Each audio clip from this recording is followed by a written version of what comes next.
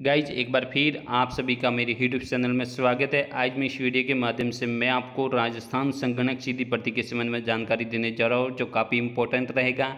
इस वीडियो के माध्यम से आप राज आवेदन दिनांक, आवेदन फ़ीस, आवेदन योग्यता और परीक्षा दिनांक के साथ पूरी जानकारी प्राप्त करेंगे। तो बने रहिए इस यूट्यूब चैनल पर। यदि वीडियो अच्छा लगे तो इस वीडियो के लिए मुझे एक लाइक ज़रूर देना। यदि आप चैनल पर नए हैं तो चैनल को सब्सक्राइब कर लीजिए और अंत में बेल आइकन को ज़रूर प्रेस कीजिए ताकि आपको हर रोज़ जैसे नई नई अपडेट सबसे पहले प्राप्त होती रहे। अब आपको मैं इसके संबंध में जो संपूर्ण जानकारी वो देने जा रहा हूँ। तो इसकी जो पंजीयन शुल्क जमा कराने और इसका जो आवेदन करने की जो अवधि रहेगी वो आप इस तरह से देख सकते हैं इस वीडियो में, इस ऑफिशियल नोटिफिकेशन के साथ में।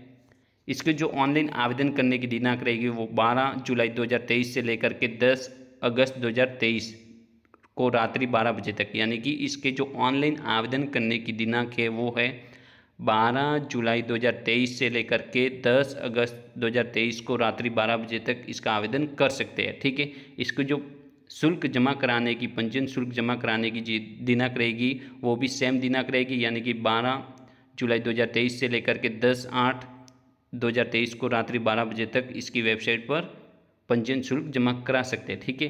इसकी जो परीक्षा आयोजन रहेगा, परीक्षा दिनांक रहेगी, वो संभावित दिनांक है, जो 14 अक्टूबर 2023 को आवंटित परीक्षा केंद्रों पर करवाई जाएँगी। यानी कि इसकी जो परीक्षा होगी संगणक की जो संभावित दिनांक है, परीक्षा दिनांक है, वो 14 अक्टूबर 2023 है, ठीक है?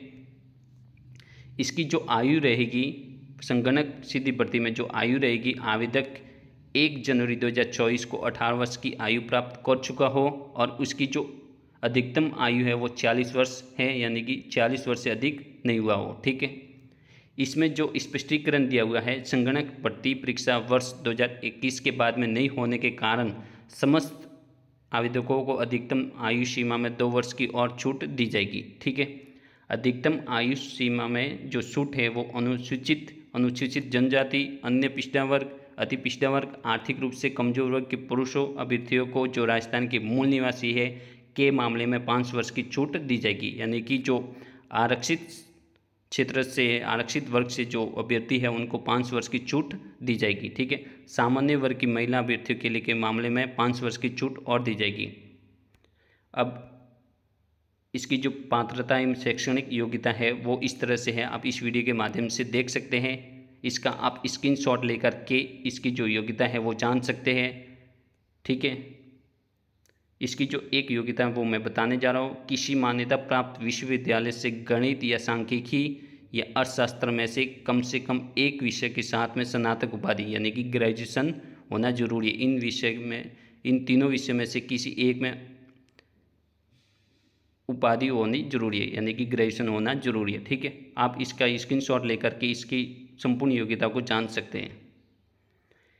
इसका जो पंजीयन शुल्क रहेगा, एक बार पंजीयन शुल्क रहेगा, यानी कि वो वन टाइम रजिस्ट्रेशन फ़ीस रहेगी, यानी कि आपने यदि one time registration fees already जमा करवाई है तो आपको इसकी जो शुल्क है वो नहीं देनी है, यानी कि फ्री शुल्क है। एक बार पंजी ओ होने के बाद में इसका जो राजस्थान के जो फॉर्म है, वो आपके फ्री भरे जाएँगे, यानी कि आपको ओट वन टाइम रजिस्ट्रेशन शुल्क जमा करवाने के बाद में किसी भी प्रकार की शुल्क नहीं देनी है, ठीक है?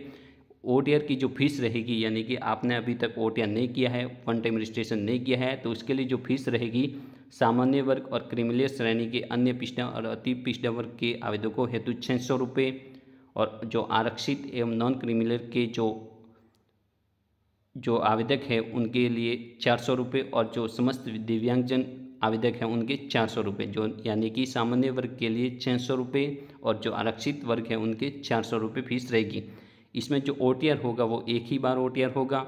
एक बार ओटीआर होने के बाद में इसमें किसी भी प्रकार का संशोधन नहीं किया जाएगा। तो आपसे आपको सलाह दी जाती है कि ओ को सावधानी पर सावधानी पूर्वक करें। ठीक है? इसके जो पद रहेंगे, पद का नाम रहेगा संगणक। ठीक है? इसके जो गैर अनुसूचित क्षेत्र, यानी कि नॉन टीएसपी के जो पद रहेंगे वो पाँच सौ बारह टीएसपी के जो पद रहेंगे वो इकहत्तर पद, यानी कि कुल पद रहेंगे वो पाँच सौ तिरासी पद। तो आप देख सकते हैं इसके जो पद है वो पाँच सौ तिरासी पद है। कुल पद पाँच सौ तिरासी पद रहेंगे जो टीएसपी के इकहत्तर और नॉन टीएसपी के पाँच सौ बारह पद रहेंगे। तो मुझे उम्मीद है कि वीडियो आपके लिए आपके लिए काफ़ी इंपॉर्टेंट रहेगा, काफ़ी लाभदायक रहेगा। तो प्लीज़ इस वीडियो के लिए मुझे एक लाइक ज़रूर देना और इस चैनल को सब्सक्राइब करके बेल आइकन को ज़रूर प्रेस कीजिएगा। जय हिंद, जय भारत।